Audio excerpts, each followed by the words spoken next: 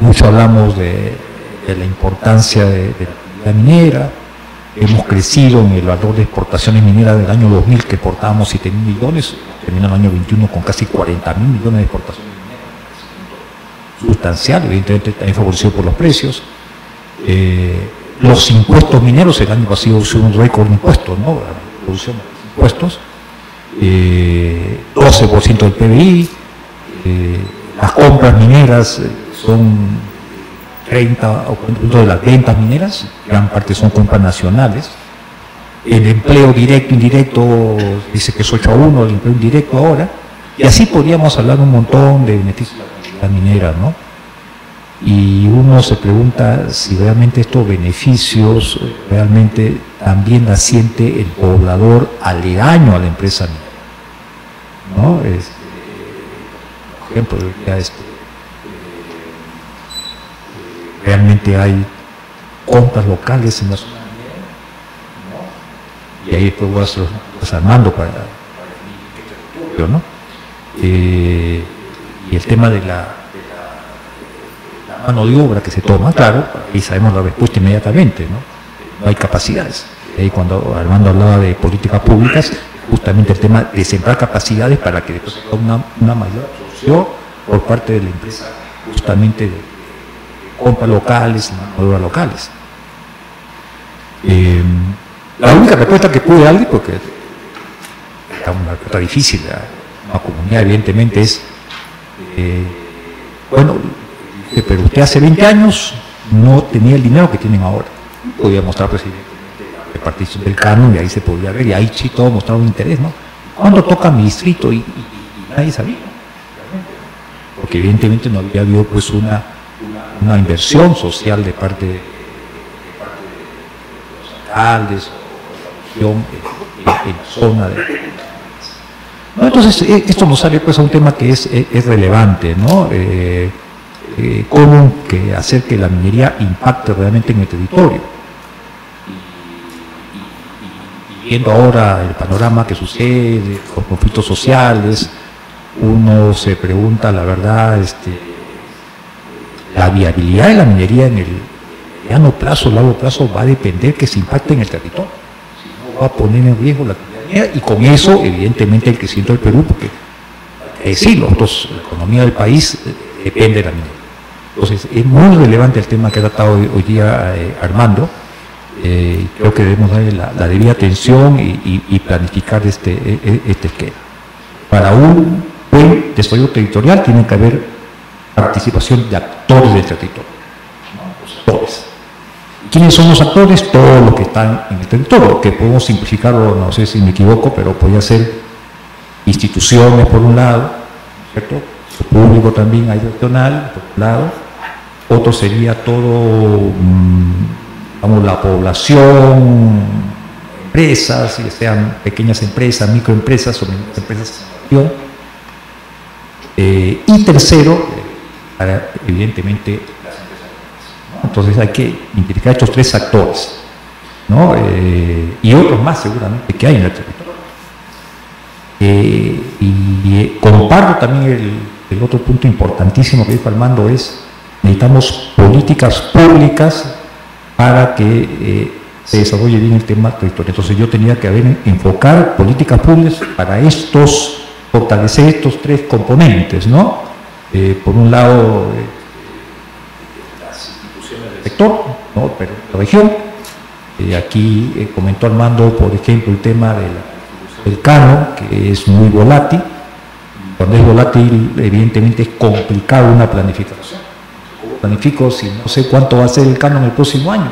Y porque sabemos que los impuestos mineros finalmente son dependientes del precio de los metales. Son cambiantes, pues el cano también va a ser cambiante. ¿no? o como alguien una vez escuchado a un alcalde que, o ingeniero, me han quitado el cano. le habían dado menos que el año pasado, pero no que le hayan quitado, sino que entonces, este, ahí qué se puede hacer. Y esto es un problema, eh, no, no sé, cuando alguien me comentaba una vez, este, una tesis sobre un fondo de estabilización del cano, no sé si eso está tomando, pero no sé si yo habría que analizarlo.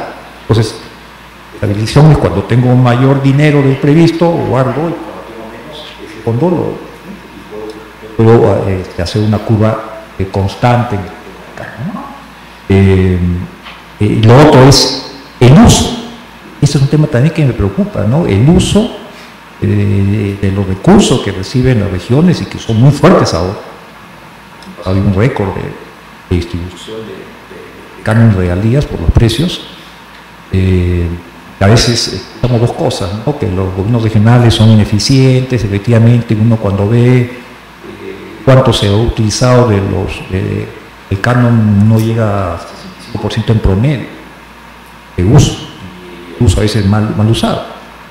Y independientemente del tema de corrupción, se, queja el tema de corrupción, que yo creo que eso va a tener que terminar tarde o temprano en el punto de partida, es el otro punto, ¿no? O sea, hay autoridades que no son corruptas, pero no tienen las capacidades. Aquí hemos descentralizado el país, pero sin otorgar las capacidades del caso, ¿no? ¿Y eso cómo hacemos para resolver ese problema? Eh, no lo sé, o sea, de otra manera de utilizar recursos ante un tema que po podría demorar, ¿cierto?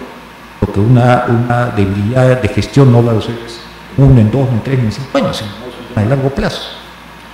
O otro se me ocurre ahí dentro de esta relación que es uno regional y central, economía no debe estar cercana a la región. Yo mandaría pues tres funcionarios de economía de acá de, de Lima, que estén capacitados, preparados y que estén ahí remuneración adicional para que se porque si no, ¿cuándo vamos a este tema? Eh, son puntos centrales, entonces ahí un punto, fortalecimiento de las, de las instituciones que se encargan de los recursos. El otro punto eh, sería eh, cómo fortalecemos justamente a los proveedores de servicios, las pequeñas empresas, a los estudiantes que estudian ingeniería de minas, en la, pero sabemos muy bien que, que no son pues este, la educación en algunas unidades no es la mejor de todo. Y ahí también estamos entonces políticas públicas, ¿no es cierto?, para reforzar estas capacidades de los proveedores locales, de, las, la local, y así pueda ser absorbida. Porque la empresa minera quisiera absorber a todas ellas, pero las empresas mineras tienen ciertos CISO que tienen que cumplir y entonces no pueden tomar pues cualquier bien, cualquier insumo que no tenga realmente las, un nivel competitivo alto. Eh, y tercero, eh, aquí también es el tema eh, del fortalecimiento de las empresas mineras. ¿El fortalecimiento? ¿Qué fortalecimiento? No? Las mineras se maneja mejor que el Estado, podríamos decir, ¿no es cierto? Y poco le he explicado lo que hace Darío, lo que hace Gonzalo en Darío mismo. Pero acá me refiero al otro concepto, ¿no? El concepto es cómo hace el, territorio para justamente incentivar la inversión minera. Confianza, ¿qué hacer? Vemos cómo las autoridades regionales están muy opuestas o muy lejos de la inversión minera. En, en la permisología, en el acompañamiento de los conflictos sociales. Creo que estos son temas eh, fundamentales. ¿No? O sea, políticas públicas, hermano, pero en estos, en estos tres ejes centrales también me parece importante.